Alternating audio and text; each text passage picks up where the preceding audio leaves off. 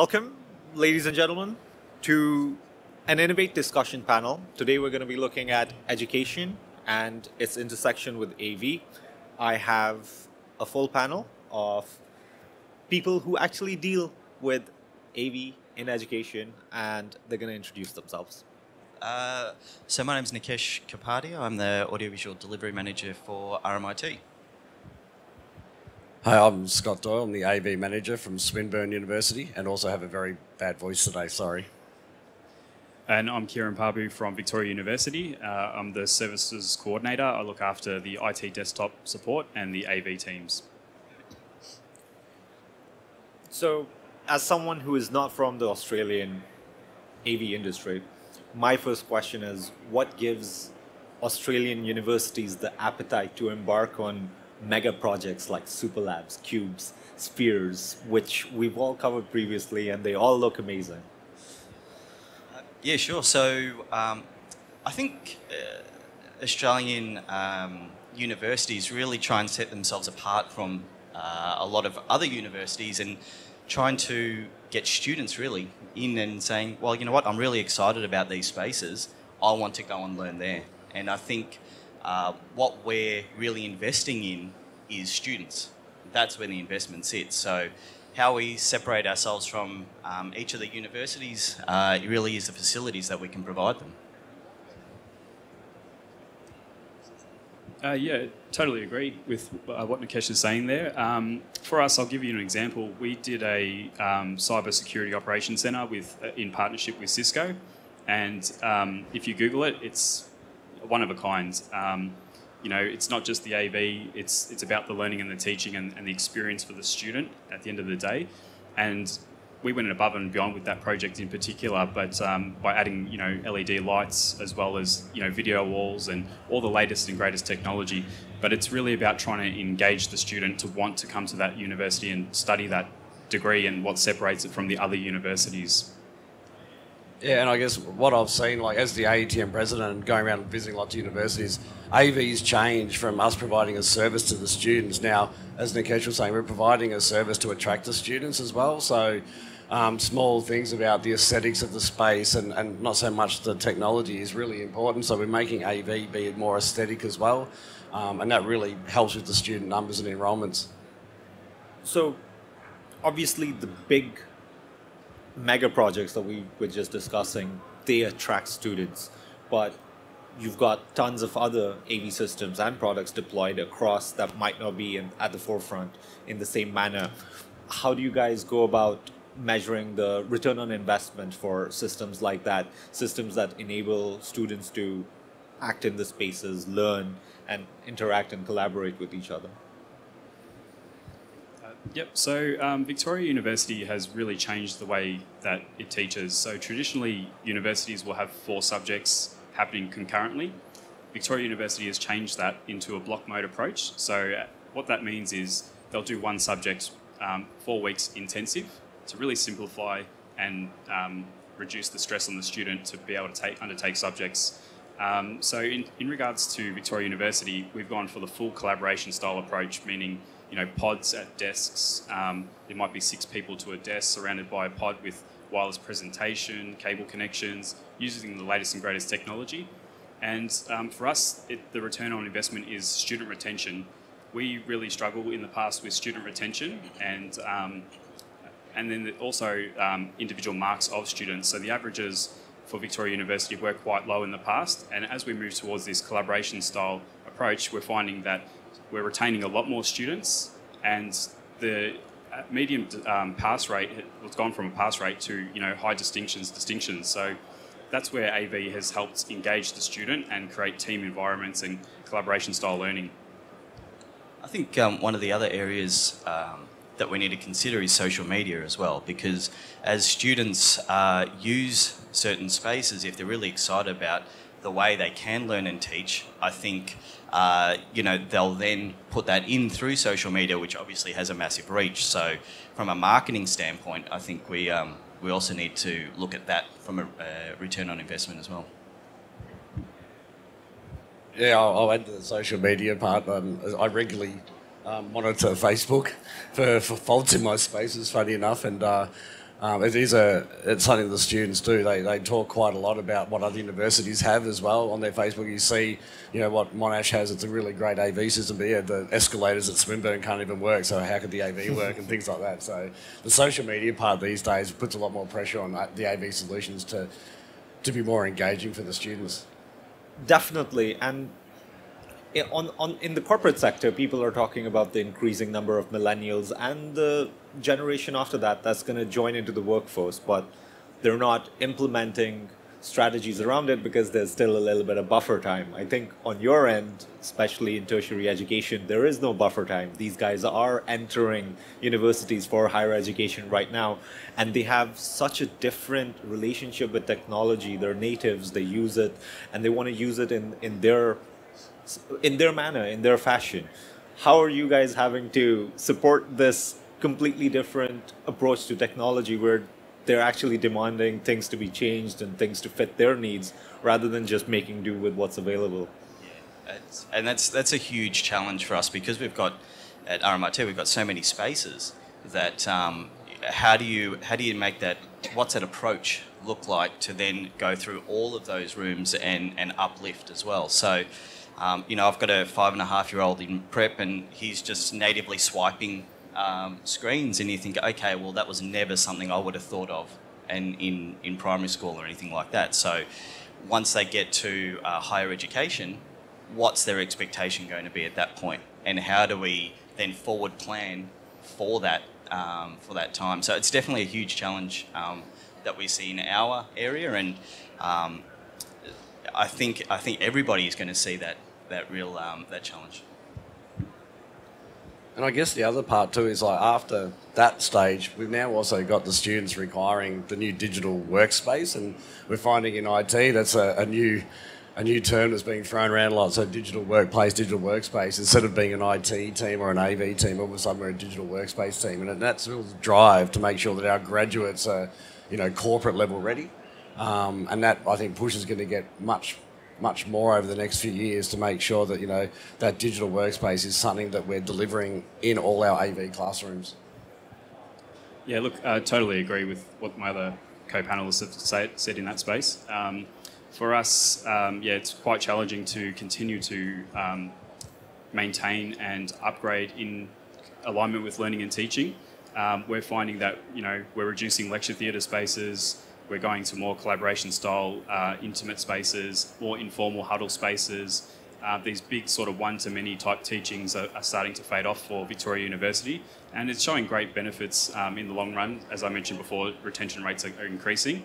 Um, so yeah, definitely as we move forward, we, we, really have to stay in alignment with learning and teaching and the industry and the latest and greatest technology, um, which is very, very difficult because it's always changing.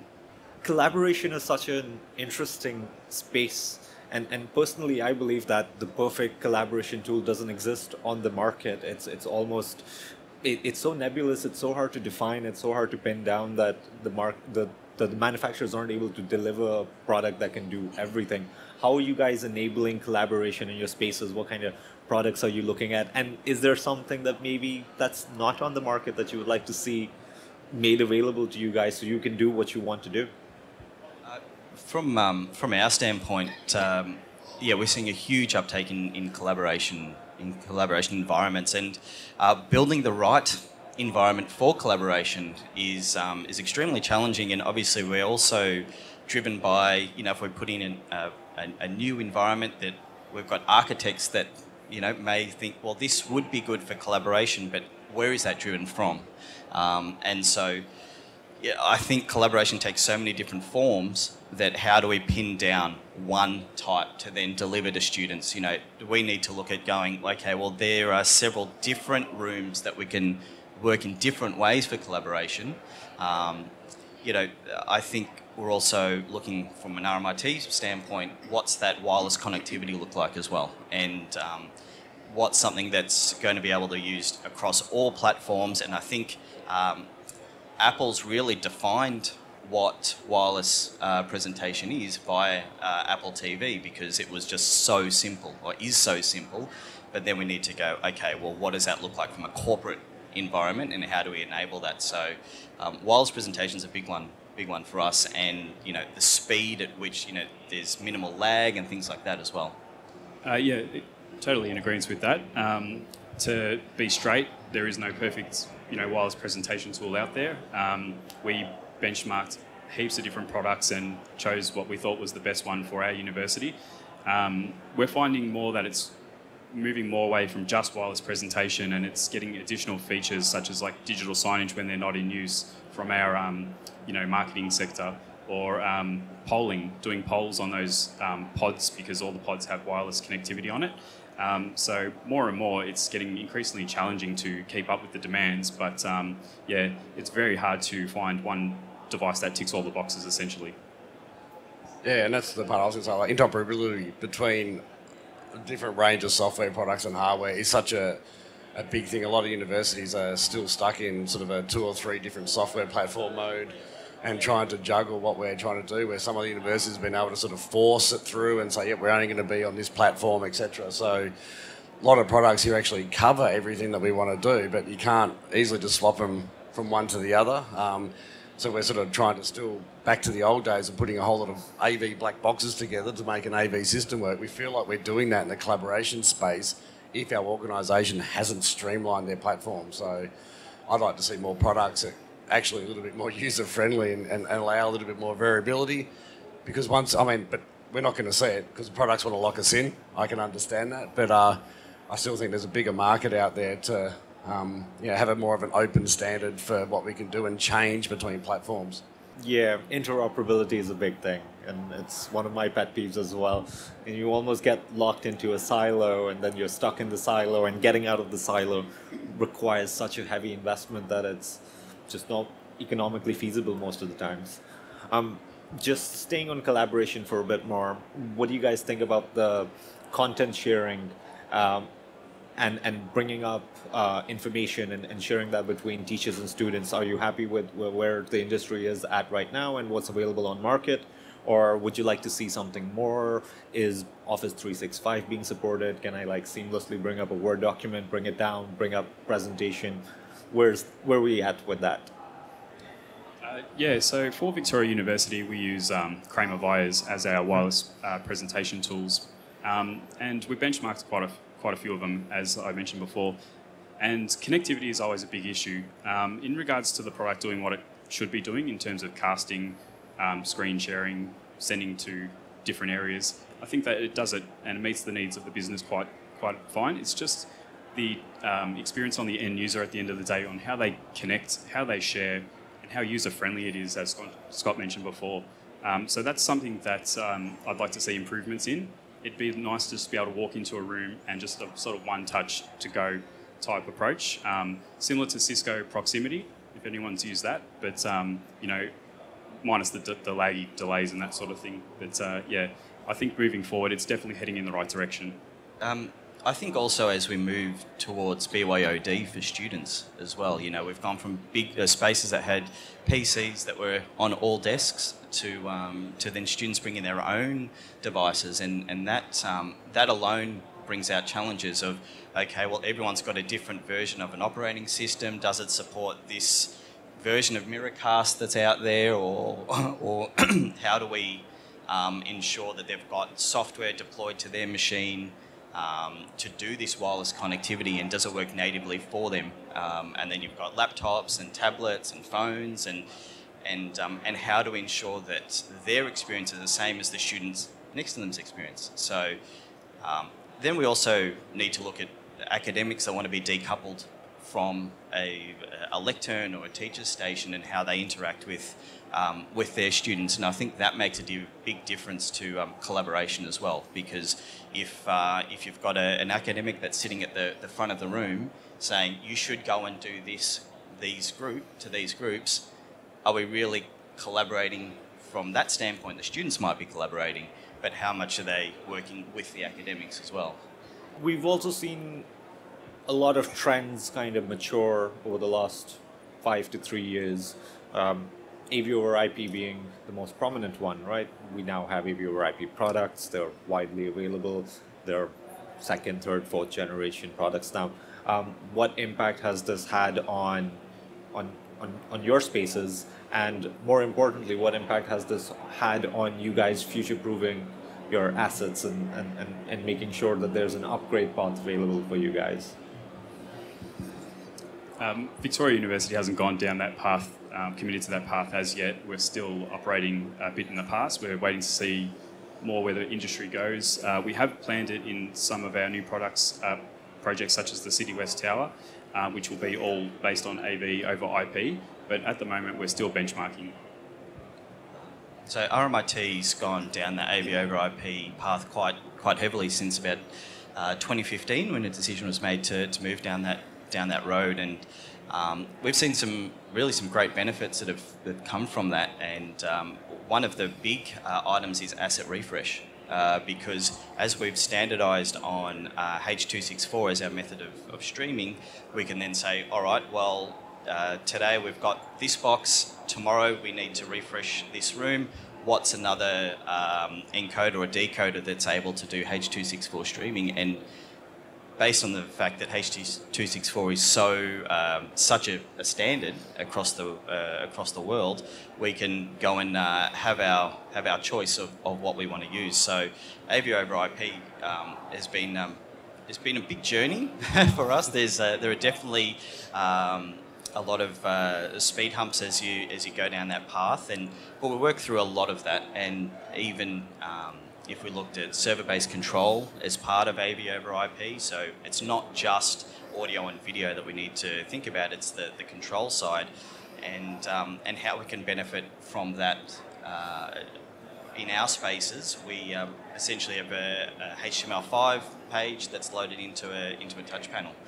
And so if we want to do global changes, we can do that very, very quickly. Um, we recently had to make one across our entire fleet and um, so we've got our standard rooms that aren't converged AV rooms yet, and then our converged rooms, and we're able to do those converged rooms uh, within you know a half an hour. We're able to change 150 rooms there, what their touch panel look like. In the other rooms, it's the traditional style where you have to go get the code, change the code, re-upload, and even from that standpoint, we uh, we saw the benefit. So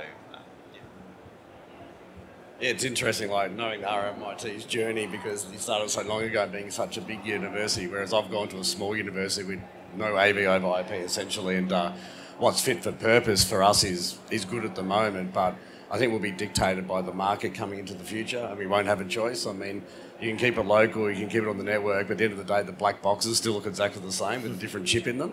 So, you know, I think you know, for my my part, and I think for a lot of other people going down this journey, like there is a big budget saving. Um, I'll, I'll, talk about the finance side, big budget saving over a long period of time, but a heavy resource budget cost at the start, um, and making sure not just the technology, but the service management and the, the whole service desk fleet and every all the staff are trained in that the new sort of uh, next generation AVs we call it. So it's a really big consideration most people have to think about.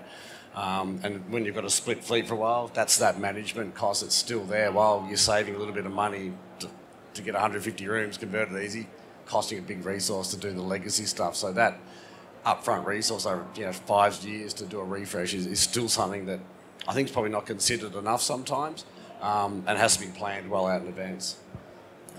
Yeah, definitely. There is still a very strong case to be made for for traditional matrices in particular applications and, and, and in particular setups.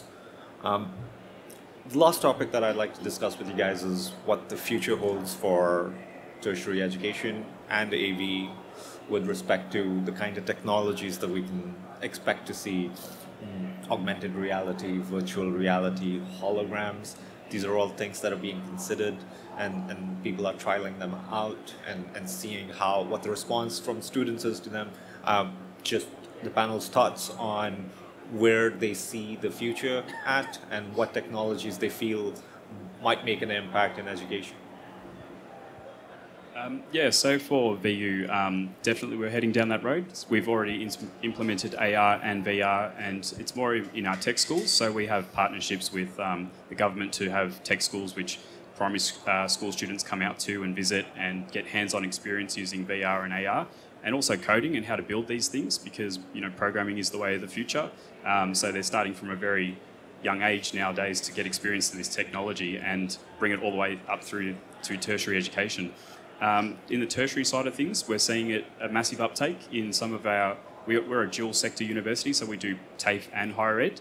Uh, and definitely on the TAFE side, it seems that AV, VR, um, AR is all making a massive, um, you know, stint um, across the board. Um, these spaces are fully immersive um, and heading in that direction. Collaboration seems to be the status quo for us now. Um, and then with the additions of VR, AR, and that sort of thing, um, we're also looking at uh, holographic projection. That's something um, very new to VU, and it goes with our engineering type courses and our you know CAD programs and that sort of thing. Um, so more and more, we're looking for more of this innovation type technologies and different things other than just projectors or panels and that sort of thing. So if there's other ways to display content and enable a student's you know work to be shown at the end of the day, then we're all about trying to go for that product and, and enhance the learning. And it's quite appealing all this stuff too. So it really drags uh, draws the student into the university, whether it's the TAFE side or the higher ed side. Yeah, I'm Swinburne's also dual sector, and I think our most technology advanced school will be the plumbing department by the end of this year. They'll have the most VR headsets out of everybody, and we'll, have thousands of headsets by the end of this year. Um, so yeah, that, that, new way of teaching for all the TAFE. So I think it'd be carpentry next, and even electrical work. They're all doing it want to do it over VR. Um, the content creations are happening really quickly in that sector as well. And the biggest hurdle to, to think about in that area is it's actually not AV anymore. It yeah. really is educational technology. And as a service management uh, part of my role is that we're now struggling with who actually supports AR and VR. Um, and the quickly upskill of so many different areas, the service desk, the support staff on the ground, even the local techs in those areas are all having a quick skill um, uplift you know, just to cope with this new technology. Yeah, look, we're also seeing that, that uptake into VR and AR as well. And if you look across other universities, apart from RMIT, that uh, they're looking at the cave installations and, and how much they're investing in those sorts of implementations. And then you've got uh, people dedicated to creating content for those solutions as well. So there's definitely a shift, um, a heavy shift into, into that area for uh, benefiting students. Um, we've seen um, a, a, small shift from um, dedicated schools into VR and AR, and um, also how they're creating. Um, you know, it's uh, through our design and social context college, and uh, they're able to create what they need by actually seeing it before they've even made it you know, and, and there's, uh, they've created some videos around this, which looks absolutely amazing. So it's definitely an area that's, um, that's on the up for us. Gentlemen, thank you so much for your time.